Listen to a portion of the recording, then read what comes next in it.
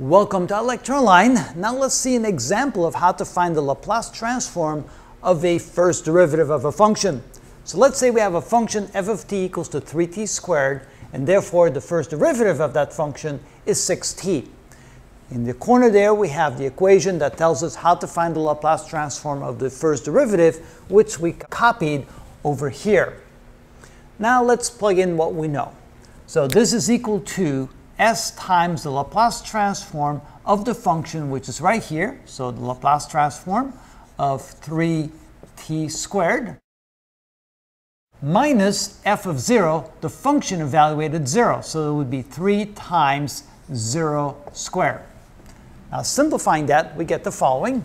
This is equal to s times, now the Laplace transform, let me first factor out a 3, so this becomes 3 times s times the Laplace transform of t squared minus 0. What is the Laplace transform of t squared? Well, that would be 2 over s to the third power. So this becomes 3 times s times 2 over s to the third power because it's 2 factorial divided by s to the 2 plus 1. Minus 0 is 0. And simplifying this, this gives us 6 over s squared.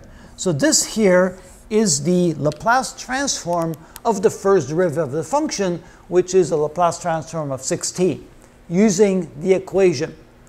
Now let's check the answer by simply taking the Laplace transform of 6t.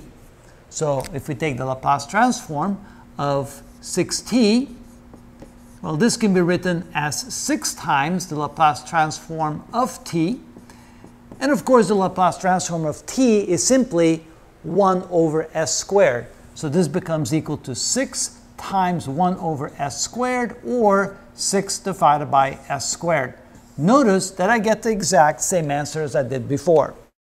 You may want to ask the question, well, why did I go through all that trouble when I could have simply taken the Laplace transform of 6t and gotten the answer very quickly? Well, that's not really the point. The point is to show that the original equation of how to take the Laplace transform of a first derivative actually does give you the right answer.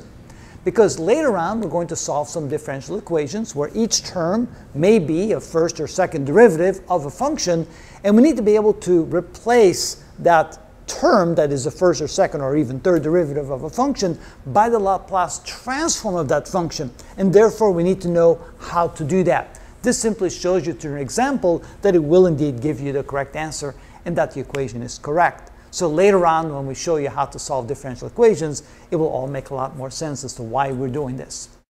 That's why we do it.